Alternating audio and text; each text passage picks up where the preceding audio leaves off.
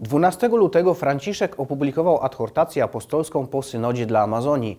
Chociaż dokument Querida Amazonia nie akceptuje najbardziej kontrowersyjnych postulatów postępowców dotyczących zniesienia celibatu i wyświęcania kobiet, to z pewnością ułatwi im realizację radykalnego programu, ocenia portal LifeSide News. Synod biskupów dla regionu Amazonii odbył się w Rzymie w dniach od 6 do 27 października 2019 roku. Wiele kontrowersji jeszcze przed synodem wzbudził dokument roboczy Instrumentum Laboris. Kardynałowie Walter Brandmiller, Gerhard Miller i Raymond Berg zakwestionowali radykalne odejście od odwiecznej doktryny. Kardynał Brandmiller potępił dokument uznając go za heretycki. Papieska adhortacja potępia niesprawiedliwość społeczną wobec biednych w Amazonii i kryzys ekologiczny, jednocześnie silnie podkreślając, że Kościół musi głosić Ewangelię Chrystusową mieszkańcom regionu. Jednak pośród tych wezwań adhortacja zawiera wiele kontrowersyjnych fragmentów i projektów zmian w kościelnej praktyce, które, choć sformułowane wyjątkowo dla Amazonii, mogą mieć dalekosiężne zastosowanie. Zmiany te obejmują inkulturowaną liturgię, czyli włączenie amazońskich tańców i rytuałów do nabożeństw kościelnych. W przypisie jest mowa o idei ustanowienia amazońskiego rytuału liturgicznego, nadanie świeckim formalnej władzy w parafiach amazońskich i wspomnienie o ich zdolności do udzielania niektórych sakramentów, z wyłączeniem szczególnie sprawowania Eucharystii i spowiedzi. Formalne stanowiska dla kobiet, np. w Komisji Biskupiej, Stosowanie podejścia Amoris Leticia do sakramentów w kontekście Amazonii, mówiąc, że nie ma miejsca na dyscyplinę, która wyklucza i odrzuca ludzi.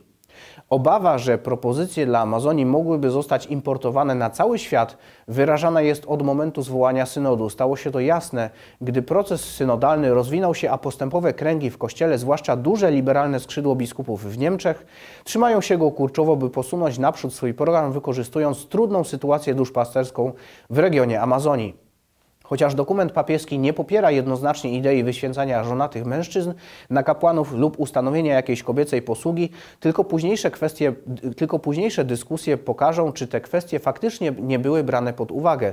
Powodem do ostrożności jest to, że już we wstępie adhortacji papież Franciszek popiera dokument końcowy synodu dla Amazonii.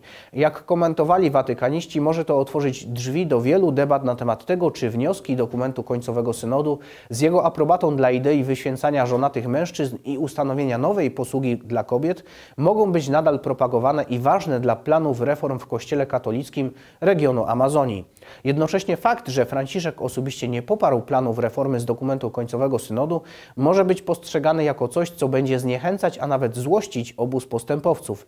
Papież uznał, że kluczowym wyzwaniem duszpasterskim zidentyfikowanym dla regionu Amazonii jest drastyczny brak kapłanów, a w adhortacji jasno mówi o znaczeniu kapłanów i potrzebie zwiększenia powo liczby powołań. Wzywa do modlitwy o powołania, prosi biskupów z całego świata o wysłanie misjonarzy do Amazonii. Nie aprobuje propozycji wyświęcania sprawdzonych żonatych mężczyzn, czyli viri probati, ale wzywa do zwiększenia liczby stałych diakonów oraz nadania większej władzy formalnej świeckim.